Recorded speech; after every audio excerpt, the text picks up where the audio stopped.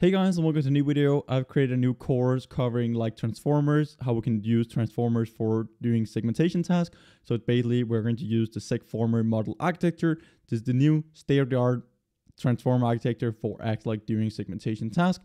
We get really high accuracy. We can even run like real-time applications as we're going to do in the course as well. So we're basically going to generate a data set. I'll go over like all the theory behind the segformer, transformers, how we can use transformers for segmentation tasks, and just like vision task in general. We go over the architecture of the segformer. It's actually like a really cool and really simple, um, simple architecture.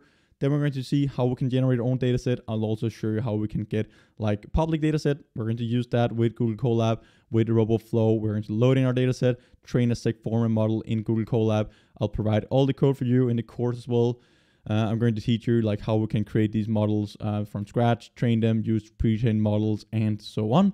Then at the end, the cool thing about this course here is that I'm going to show you how we can act like export these models and deploy them with OpenCV um, in Python. We can basically like create our own Python script, open up our live webcam with OpenCV, pass in the images through a model, get the predictions out, and then we can see that this model is really crazy. We get really high accuracy and also just the performance.